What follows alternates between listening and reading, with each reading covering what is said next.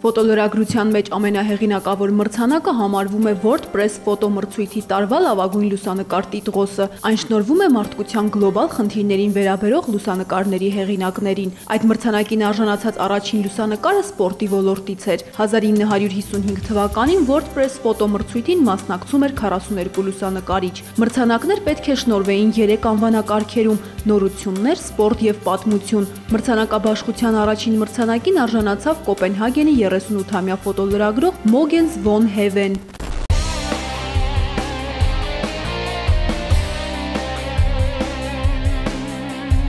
«1955 թվականի օգոստոսի 28-ին նա լուսաբանում էր մոտոկրոսի միջազգային խոշոր առաջնությունը։ Այդ իրադարձությունն իր վրա էր սևեռել մոտ 40 հազար հանդիսատեսի ուշադրություն։ Այս լուսանկարը, որը Վոն Հովենին մեծ ճանաչում բերեց, անմահացվել է հենց այնտեղ։ Լուսանկարում ֆիքսված է մրցավազքի մասնակիցներից մեկի անկումը։ Այդ տարիներին ոչ ոք չէր վերահսկում, թե ֆոտոլրագրողները որտեղ պետք է կանգնեին։ Նրանք իրենք էին որոշում, թե որ դիրքից նկարեն եւ լուսանկարման համար ինչ անկյուն ընտրեն։ Այդ պահին լուսանկարչի բախտը բերել էր եւ նա հայտնվել էր ընկնող մարզիկին շատ մոտ եւ անմոռանալի ակնթարթի հնարավորություն էր ունեցել։